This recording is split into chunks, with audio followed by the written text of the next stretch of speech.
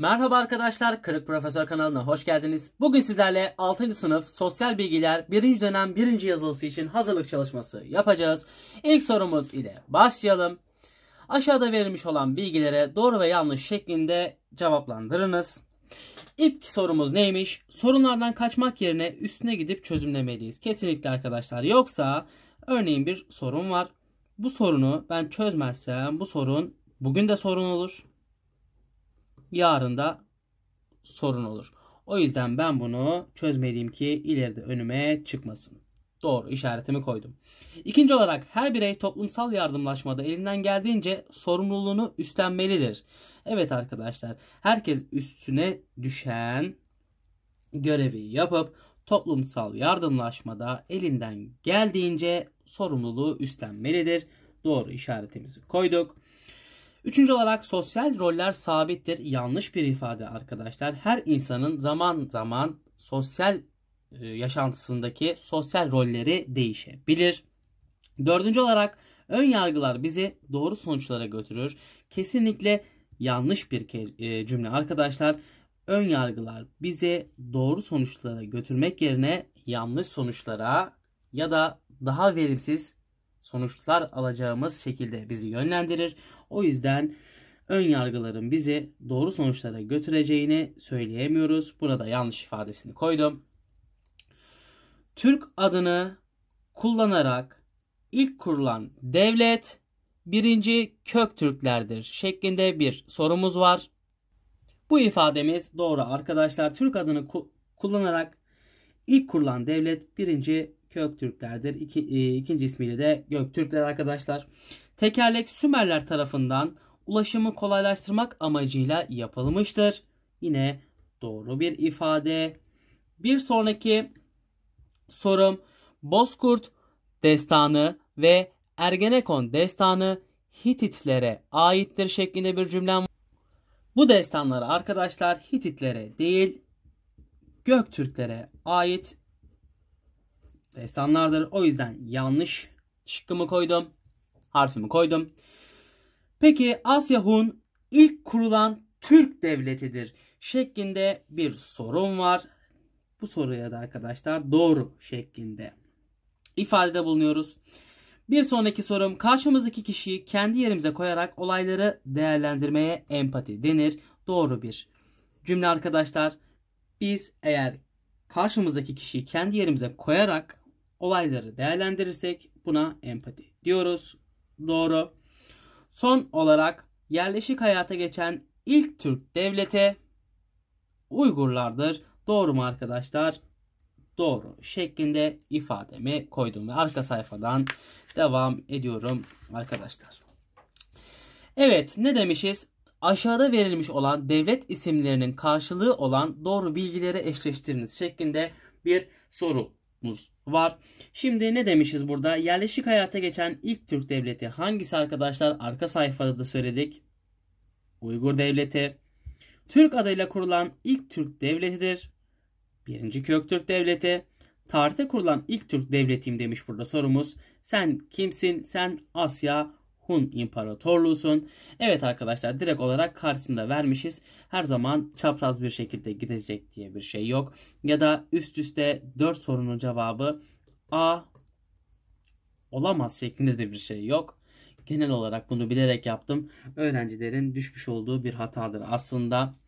Sorudan her ne kadar emin olsa bile a, 4 kere üst üste ya da 3 kere ya da 2 kere üst üste A işareti geldi. Ya da hepsi karşılığında böyle birebir olamaz şeklinde bir ön yargımız var ne dedik arka sayfamızda? Kesinlikle ön yargılı olmamamız gerekiyor. Peki bir sonraki sorumda arkadaşlar verilen durumların bizim hakkımız mı yoksa sorumluluğumuz mu olduğunu tikleyerek belirtecekmişiz arkadaşlar. Öncelikle hak ne demek ona bakalım. Hak arkadaşlar hem yasal olarak hem de toplumsal ahlak kuralları ile korunan özgürlüklerimizdendir. Sorumluluk ise üstlendiğimiz rollere göre bizden yapmamız beklenen işlerdir. Peki burada verilen eylemlerin hak mı sorumluluğa mı girdiğine bir bakalım. Derslere düzenli çalışmak arkadaşlar nedir? Sorumluluktur. Hastanede muayene olmak haktır arkadaşlar. Her bireyin hakkıdır. Odamızı toplamak nedir? Sorumluluktur. Düşüncelerini ifade etmek nedir arkadaşlar? Her bireyin hakkıdır. Okul çantasını akşamdan hazırlamak nedir arkadaşlar? Bir sorumluluktur. Ev işlerine yardım etmek yine aynı şekilde bir sorumluluktur. Okulda eğitim görmek nedir arkadaşlar? Her bireyin hakkıdır. Başkalarının düşüncesine saygı duymak arkadaşlar nedir? Hak mıdır? Sorumluluk mudur? Bir sorumluluktur. Ayrıca görevdir.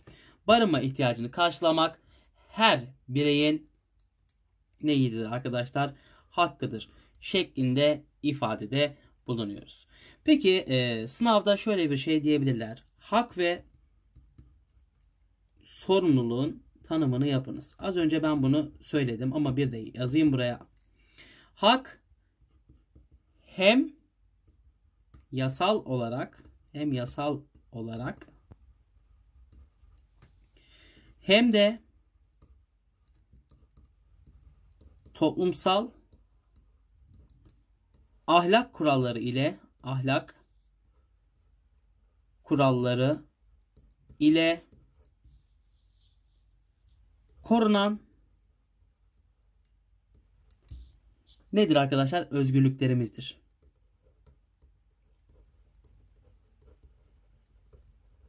Peki yazdım. Sorumluluk için ben ne demiştim? Sorumluluk üstlendiğimiz rollere göre bizden yapmamız beklenen işlerdir arkadaşlar. Şeklinde ben tanımımı da yaptım ve bu sorumu da mükemmel bir şekilde cevaplandırmış oldum. Arka sayfamdan devam ediyorum. Ne demişiz? Aşağıdakilerden hangisi toplumun birlik içerisinde yaşamasına katkı sağlamaz? Hemen bakıyorum. Evet arkadaşlar eğer biz saygılı olursak karşımızdan da saygı görürüz ve gayet güzel bir şekilde iletişimimizi kur kurarız. Bu da her bireyin böyle davranması toplumun birlik içerisinde yaşamasına e neden olur. Katkı sağlar. B seçeneğinde empati kurmak arkadaşlar. Empati kurmak neydi? Olayları karşımızdaki kişiyi e, olaylarda karşımızdaki kişiyi kendi yerimize koyarak olayları değerlendirmekti. Böyle yaparak ne yapıyoruz? Karşı tarafın bu durumda biz onun yerinde olsak ne yapardık şeklinde düşünmemizden dolayı daha anlayışlı, daha çözüm odaklı, daha içten ve doğru bir karar vermiş oluyoruz. Yani empati kurmak birlik içerisinde yaşamaya toplumda katkı sağlar. D seçeneğinde yine aynı şekilde arkadaşlar ne var? Hoşgörü var. Hoşgörü, saygı bunlar her zaman kabul gelen iyi şeylerdir. Hoşgörülü, saygılı olursak toplumun birlik içerisinde yaşamamasının hiçbir sebebi kalmaz arkadaşlar. Peki C'de ne var? Ayrımcılık. Ayrımcılık arkadaşlar her alanda ne olursa olsun kötü bir şeydir ve toplumun birlik içerisinde yaşamasına kesinlikle engeldir. C seçeneğini işaretledim. Aşağıdakilerden hangisi sorunlarımızın çözümünde kullanacağımız yöntemlerden biri olamaz? Ee, hemen bakalım. Olayları analiz ederek çözüm için doğru adımlar atmak. Evet arkadaşlar nedir bu? Gayet ideal doğru olan bir işlemdir. Ne dedik? Hangisi sorunlarımızın çözümünde kullanacağımız yöntemlerden biri olamaz dedik. Ama bu bizim sorunlarımızın çözümünde kullanacağımız gayet güzel bir yöntem. B. Sorunla ilgili gerekli yerlere başvurmak. Evet gerek yasal olarak gerek hak olarak arkadaşlar ben bunu bu işlemi bu eylemi gerçekleştirirsem sonuca ulaşabilirim. C sorun olan olayı önemsememek. Peki buna bir soru işareti koydum. D seçeneğini inceleyeceğim. Sorunu yasalar çerçevesinde çözmeye çalışmak yine aynı şekilde yapılabilecek en doğru davranışlardan. Fakat arkadaşlar sorun olayı olan olayı önemsemezsek hem kendi açımızdan sıkıntı olur hem de çevreye olan örnek açısından bir sonraki yaşayacağımız olaylar açısından sorun olan olayı önemsememek bize her zaman sıkıntı getirir ve C seçeneğini ben işaretleyerek sorunlarımızın çözümünde kullanacağımız yöntemlerden biri olmayan şıkkımı bulmuş oluyorum. Peki Son sorumuzda ne varmış? Aşağıdakilerden hangisi birinci Köktürklerin özelliklerinden biri değildir? Orhun kitabelerini yazmışlardır. Doğru arkadaşlar. Çin Seddi'ni yapmışlardır. Soru işareti koyuyorum. 552'de Bumin Khan tarafından kurulmuştur. Doğru. Türk adıyla kurulmuş ilk devlettir. Doğru. Fakat arkadaşlar Çin Seddi Türk boylarından korunmak için, Türklerin saldırılarından korunmak için yapılmış bir settir.